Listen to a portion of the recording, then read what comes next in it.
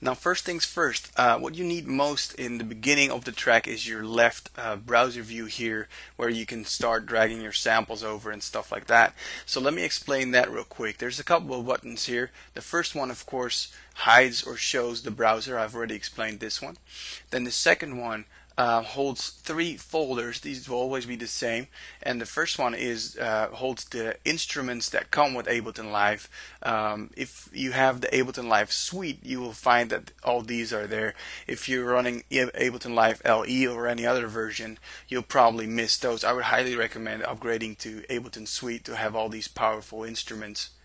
Second are MIDI effects. Whenever you start playing with your sampler or any other instrument in live, it's usually controlled by MIDI, and these effects are what you can use to get some really cool um, sounding things out of your MIDI devices or uh, software instruments. Then third are the audio effects and Ableton Live comes with a huge list of built-in audio effects. Uh, no need for secondary plugins or you know uh, third-party stuff. It comes with very powerful plugins that um, have all kinds of presets assigned to them that you can already use and we'll look in these, into these three a little later.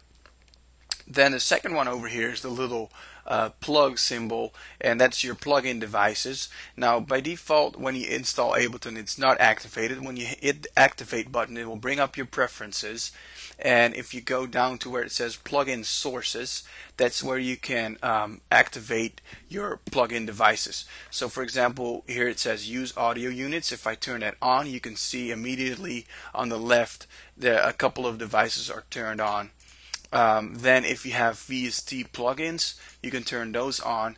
Um, your, your computer will probably have to calculate for a little bit, just like mine is doing right now, and it's going to look over the hard drive in the system to find um, VST plugins. And as you can see now, it already found a folder.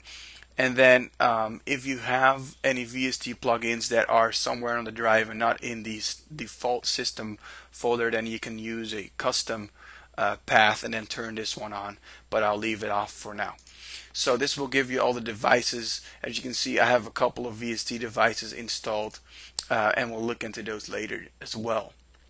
And you can use these as instruments then there's three buttons, the one, two, and three browser buttons that look the same, and they actually do the same. They're three browsers, um, and maybe you're thinking, well, what, what I need three browsers for? Is one not enough? No, exactly, one is not enough. Um, if you're working with a lot of samples, it's very handy to have three browsers because they remember the position they were at last, so you could quickly switch between those. Uh, to find what you're looking for. If you double click on one of them, it will make that the default or uh, will remember that as as the path. If you don't want that, you can just twirl open using the little twirl uh, triangles, and you can find all of your samples here. Um, and then the last button is the refresh button. That really doesn't uh, do anything, but it, it, it just um, puts everything back to default, but it also refreshes if you have new devices installed or any samples. So that's what the, the browser does. Um, Next, let it let's get in into making making a little bit of sound.